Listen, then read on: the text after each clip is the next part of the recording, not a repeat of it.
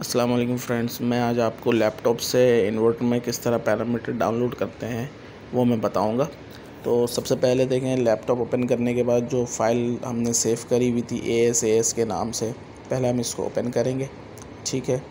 और T I ए का जो फ़ाइल बनी हुई थी, इसको हम ओपन करेंगे, ठीक है?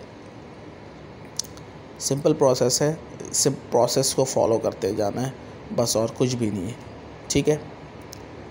उसके बाद प्रोजेक्ट व्यू सही है प्रोजेक्ट व्यू में जाएँगे।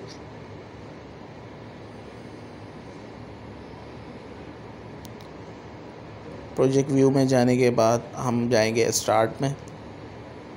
देखें स्टार्ट के शटर को ओपन करेंगे, ये साइड में है। इसके बाद हम कहाँ जाएँगे? G one twenty C U ठीक है, इसको ओपन करेंगे, इस वाले शटर को। उसके बाद जाएँगे device and diagnostics, online and diagnostic, ठीक है? इसमें आने के बाद हम इसके देखेंगे कि ऑनलाइन करने से पहले हम नीचे आएँगे, पहले इसके कम्युनिकेशन केबल को चेक कर लेंगे कि किसमें है। S seven U S B में है, ठीक है? तो हम यहाँ से इसको करेंगे गो टू ऑनलाइन ठीक है फ्रेंड्स अगर आपने अभी तक मेरे चैनल को सब्सक्राइब नहीं किया तो सब्सक्राइब करें ताकि हमारी लेटेस्ट वीडियो आप तक जल्द से जल्द पहुँच सके। ठीक है, ये ऑनलाइन कर रहा है, ये देखिए, ये ऑनलाइन हो गई है डिवाइस हमारी। वेट करें थोड़ा। सही है, ये डिवाइस ऑनलाइन हो गई है। ठीक है, उसके बाद हम कहाँ जाएँगे? उसके बाद नीचे आए, ये देखिए, ये क्या लिखा हुआ है? डिवाइस डाउनलोड टू डिवाइस यानी कि जो भी चीज़ें हैं, इसको जो है डाउनलोड कर दो डिवाइस के अंदर। तो हमने यहाँ पे क्लिक किया और नीचे आए, नीचे यहाँ पे देखिए ये लिखा हुआ है लोड यहाँ से हम लोड कर देंगे। यानी कि जो भी पैरामीटर हमारे लैपटॉप में मौजूद था, उसको हम कहाँ फ़ीड कर रहे हैं, उसे हम अपने इन्वर्टर में डाउनलोड कर रहे हैं। ठीक है फ्रेंड्स बस सिंपल प्रोसेस है। ये देखें, ये टाइमिंग चल रही है इसकी, कितना परसेंटेज हो गया?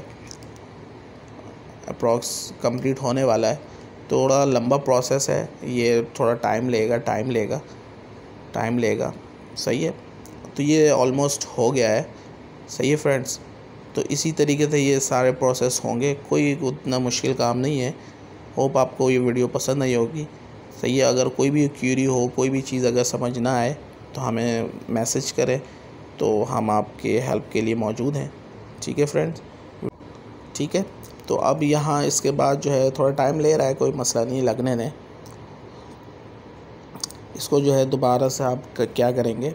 अब डिवाइस में पैरामीटर्स में जाके पैरामीटर्स में जाने के बाद वहाँ पे पैरामीटर्स में सारी वैल्यू चेक कर सकते हैं आप, कि कौन सी वैल्यू है, क्या है, सारी चीज़ें देख सकते हैं आप।